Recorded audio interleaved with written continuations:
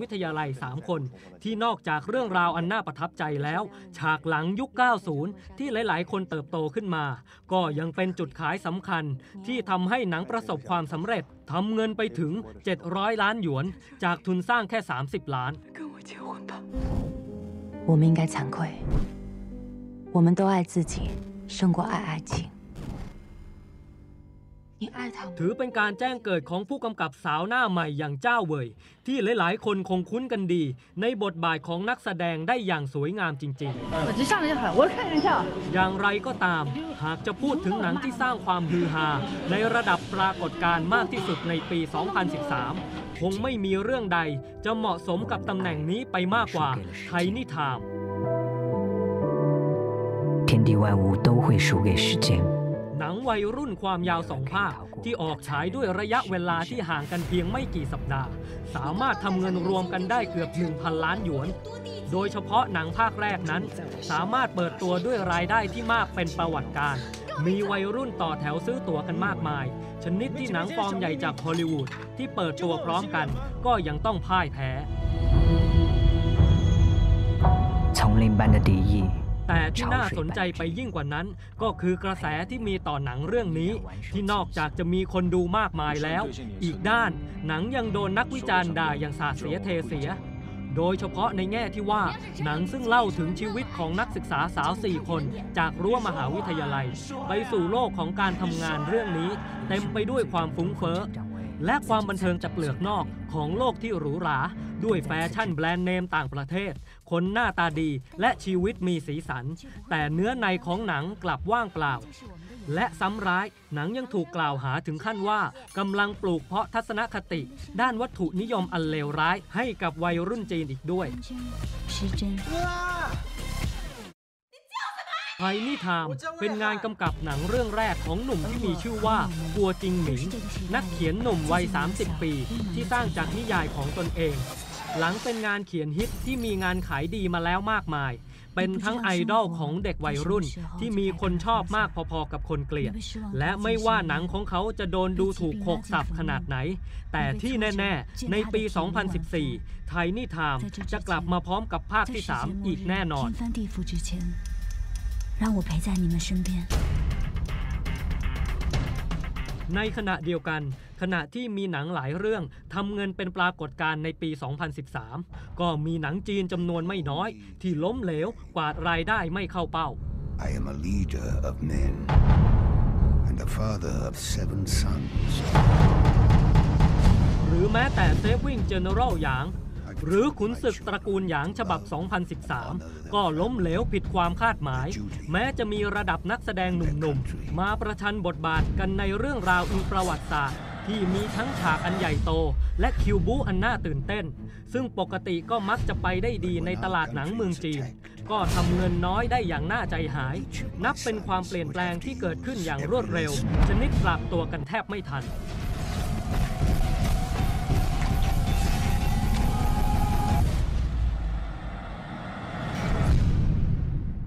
นี่แหละครับหนังจีนแผ่นดินใหญ่ในรอบปี 2013 ที่ผ่านมานะครับ สบายใจเลยครับ หนังเล็กๆสำเร็จมากกว่าหนังอลังการ คือก่อนหน้านี้ไอ้เซตพวกที่จางอี้โหมวทำอะมันต้องอย่างนั้นโอ้ถึงจะฉายแล้วได้ตังค์หนังอลังการแต่ตอนนี้เนี่ยระดับแบบ Lost in Thailand อืมหรือว่าหนังที่ไม่ต้อง production ใหญ่มากเนี่ยค่ะก็ได้เงินแล้วนะครับ อย่างว่ามีความชัดเจนไงใครก็อยากทำหนังเข้าไปขายไม่ได้ลดเงินในแผ่นดินใหญ่เนาะถูกใช่มันคนเยอะเนาะจริงพี่มากนี่ก็ไปไป ไปได้นะ ไปไหมไปไป ไปไปนี่ แต่ว่าในแผ่นดินใหญ่เลยนะตัดฉากผีหลอกออกถ้าได้นี่อลังการเลยนะ โอ้โห เจ๋งฮะเจ๋งฮะอะไรคือไปดู คุณไปดูบ็อกออฟฟิศดีอะ ฮ่องกงดิ มีผีเต็มเลย ไอสูงสุดบ็อกออฟฟิศฮ่องกงอะ โอ้ไม่ได้เซี่ยวหนึ่งในสิบแผ่นดินใหญ่อันดับสิบเลยอะอ๋อเหรอเงินอะ เออ มันเงินเขาเยอะมากเลย คนมันเยอะไงคนเขาดูหนังเยอะเหรออ่าปริมาณคนมันเยอะ อ่า จริง นะโอเคนะครับ ครับ นี่คือเอเชียรามาประจำสัปดาห์นะครับ แต่ก่อนจะเบรกกันสักหน่อย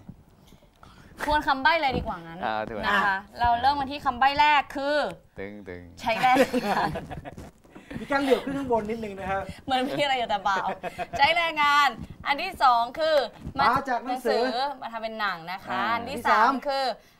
มีฉากดำน้ำหาของดำน้ำหาของ อันที่สี่คือหนังไทยจ้ะหนังไทยโอ้ย ไม่ต้องดิบูซีผมประธานโทษครับพี่ดิบูซีดำน้ำหาฉลามเหรอครับ ไม่ได้หาของเออหนีเออพี่นันครับชักนาโดแผ่นออกแล้วนะครับ ดูยังครับ เอ้ยผมดูดูแล้วนี่จริงอะสักนิดได้ไหมดีไหม เออก็บ้าๆบวมๆเนี่ยเออเดี๋ยวผมไปดูเดี๋ยวผมอยากผมชอบหนังอย่างนั้นโอ้โห ลิสดูไหมจ๊ะไม่ดูค่ะ มันมีปลาฉลามด้วยนะ ฉลามไม่ชอบฉลามบินน่ะ คุณคิดดูโอ้นะโหครับเออ มีทอร์นาโดฉลามบิน พัดมาที่เมืองแห่งหนึ่ง ค่ะแล้วทอร์นาโดแห่งนี้สูบน้ำจากมหาสมุทรมาด้วย ค่ะ แล้วดูดปลาฉลามหมุนอืมจิ้วๆอยู่ในทอร์นาโดมาด้วย ใช่ ฉันจะมีปลาฉลามพุ่งฉลามบินน่ะฉแล้วลามก็บิมานกัดปุ๊บโคตรโม้เลยอะ โคตรเจ๋งเลยอะโคตรเจ๋งอะ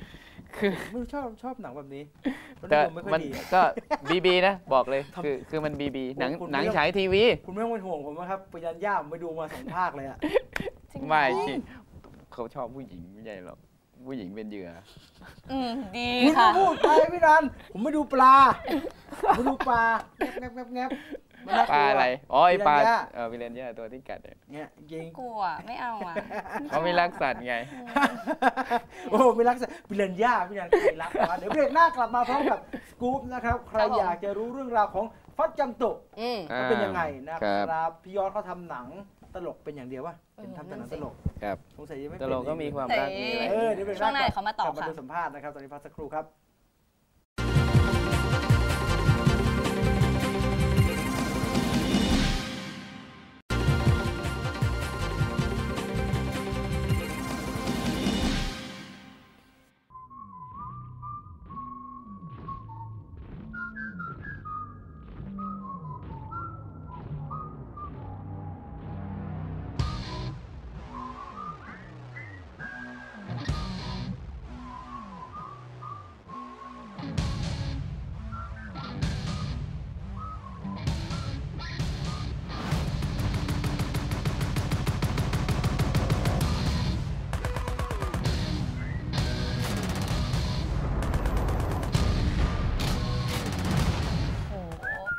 expendable 3นั่นเองนะคะ ติดตามได้เลย 2014 ค่ะ มาอ่ายกเซต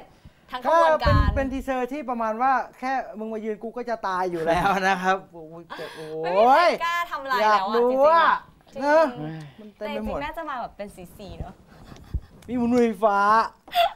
อะไรอย่างเงี้ย เฮ้ยแล้วมีมีแฮร์ริสันฟอร์ดเล่นด้วยอะอ๋อเมลกิฟสันเล่นด้วยอะเขาไม่กลัวคนแบนเหรอเมลกิฟสันไปเล่น สวคนก็สว ชอบแบนเมลกิฟสันกันหรอ นะเอเอออใช่เขาใช่โดนแบนใช่เยอะก่อนหน้านี้เขาเป็นแบบตีแต่ก็ไม่เมียบ้างไม่เป็นมีเรื่องอะไรศาสนาแล้วมั้งบ้าง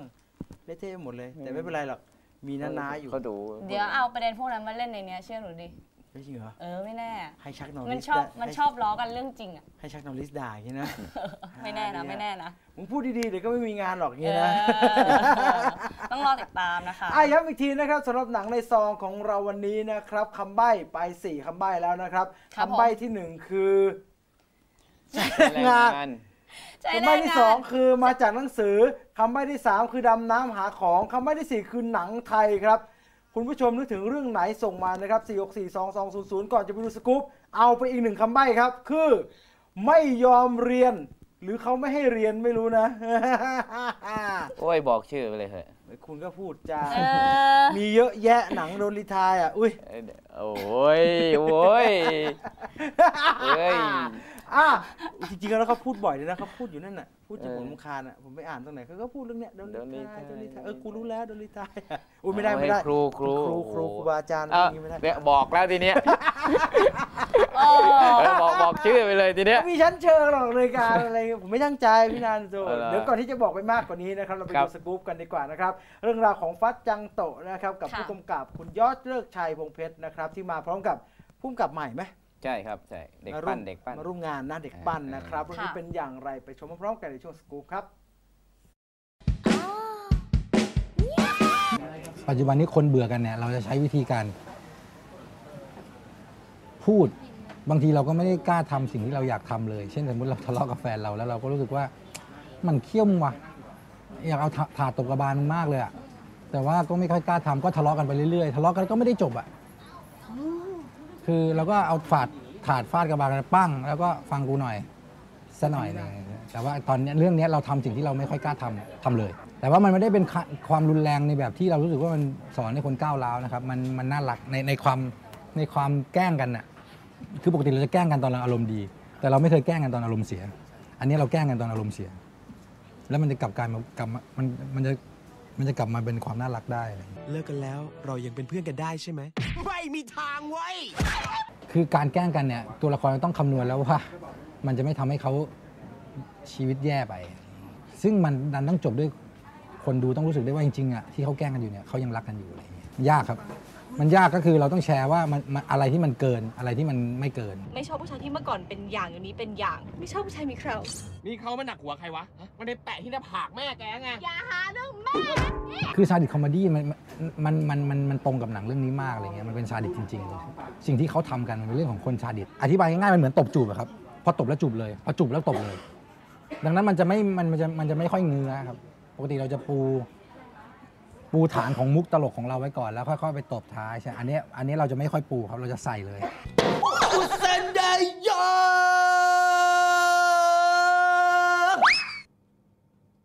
มันแปลว่าอะไรวะ ฉันเบื่อแกไง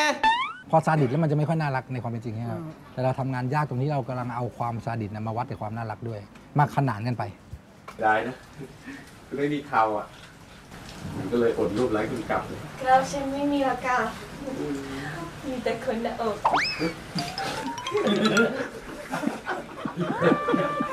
ชอบสถานที่ชอบชอบเมืองเล็กๆ มันทำให้รู้สึกว่าเหมือนเราเวลาเราดูการ์ตูนอะอ่าเราดูโดเรมอนดูเห็นโนบิตะเห็นบ้านเล็กๆ เห็นอ่าเราอะไรเงี้ยเราเราคุ้นเคยกับกับเรื่องเขาเรียกเราเสพวัฒนธรรมโดย เราเห็นความน่ารักของเมืองประมาณเนี้ยก็เลยแล้วก็ประกอบกับเรามาทำหนังแล้วเราทำหนังอยู่กับอยอดอยู่ตลอดนะครับทำหนังอยู่พี่ยอดแล้วก็มีความมีมีความได้เล่าเรื่องนู้นเรื่องนี้ให้ฟังกันอะไรเงี้ยก็เลยมาอยอดก็เลยรู้สึกว่าเฮ้ยมันน่าสนใจนะ กับไอสิ่งที่พี่ไปเห็นมาไอความน่ารักต่างๆนะก็เลยมาช่วยกันคิดเกิดเป็นโปรเจกต์อ่าฟัดจังโตขึ้นมา พี่ดิ่งเนี่ยเป็นผู้กำกับที่เป็นทำโฆษณามาก่อน เขาจะเข้าใจในการทำ สิ่งที่เป็นไปไม่ได้ในการแค่แสดงเฉยๆอะเช่นอุปกรณ์หรือเทคนิคพิเศษต่างๆ ในการทำให้ scene นี้ประสบความสำเร็จในมุกมุกที่เราอยากให้เป็นอะไรเงี้ยครับเช่นอุปกรณ์ทำให้อุปกรณ์ต้านแรงโน้มถ่วงอะไรเงี้ยสมมติว่าคนจะล้มแต่เรายังเราไม่ยังไม่อยากให้ล้มแล้วตึ้งลงไปเลย เราอยากให้เกิดเหตุในระหว่างที่ล้มเนี่ยมันจะต้องมีอุปกรณ์อะไรบางอย่างมา support ตัวละครนี้ไม่ให้ล้มทันทีหรืออะไรเงี้ยครับพวกเรื่องของ character ตัวละครเนี่ยก็เราก็เลยแบ่งหน้าที่กัน พี่ยอดจะมาช่วยในเรื่องของโครงสร้างของ character ตัวละคร พี่ก็ก็จะหนักไปทั้งเรื่องของการดีไซน์ในเรื่องของบรรยากาศที่เกิดขึ้นที่มันจะห่อหุ้มของตัวละครที่เกิดขึ้น คือพี่ดิ่งเนี่ยเขาเขาชอบนั่งเล่าให้เราฟังเพราะว่าเป็นเพื่อนเป็นเพื่อนร่วมงานกันมานานแล้วแล้วเขาไปถ่ายโฆษณามามี scene นี้นะเขาต้องเปิดประตูแล้วภายใน 30 วินาทีนี้ต้องเปลี่ยนห้องจาก A เป็น B จากสีขาวให้จากห้องนอนให้เป็นห้องครัว สมมติโฆษณาห้อง โฆษณาผลิตภัณฑ์อะไรของเขาไม่รู้อะแล้วตัวละครเดินมาแล้วเปลี่ยนจากห้องครัวแล้วเป็นห้องให้กลายเป็นห้องนอนจากห้องนอนกลายเป็นห้องน้ำจากห้องน้ำกลายเป็น outdoor อะไรเงี้ยเราก็นึกว่าเป็น CG ล้วนแต่จริงๆเขาสร้างเขาสร้างแล้วมีจุดหมุนของฉากเขาอะไรเงี้ยเขาจะอธิบายชอบเล่าอะไรอย่างเงี้ยให้ฟังอยู่เสมออย่างเงี้ยสิ่งที่เขามีเราก็มาประยุกต์เข้ากับสิ่งที่เราต้องถ่ายในหนังเรื่องนี้ เวลาเราดูในหนังเราจะไม่รู้สึกว่ามันเป็นเทคนิคหรอกครับเพราะมันจะหายไปไอ้พวกอุปกรณ์เหล่านี้หรือว่าเครื่องมือเหล่านี้หรือว่ากลไกเหล่านี้มันจะหายไปไม่เห็นหรอกครับ ก็เห็นแต่ตัวละครเล่นอยู่อะไรเงี้ยแต่ว่ามันสำคัญทำไมอะสะใจว่ะ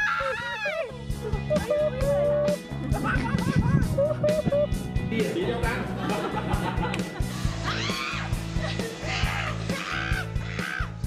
แต่ผมกลับกลับไม่ได้เชื่อว่าหนังผมเป็นชื่อผมแล้วใครก็จะดูนะ ผมเชื่อว่าถ้าเกิดหนังมันไม่ทำงานมันก็จะไม่ดูอยู่ดีอะไรเงี้ยตัวหนังเองต่างหากตัวตัวนักแสดงตัวหนังเองอะไรเงี้ยที่มันฉายไปแล้วแล้วมันมี feedback ของคนปัจจุบันนี้คนดูหนังเนี่ยไม่ได้เชื่อว่าใครทำหรอกครับ เชื่อเพื่อนที่ไปดูมาแล้ว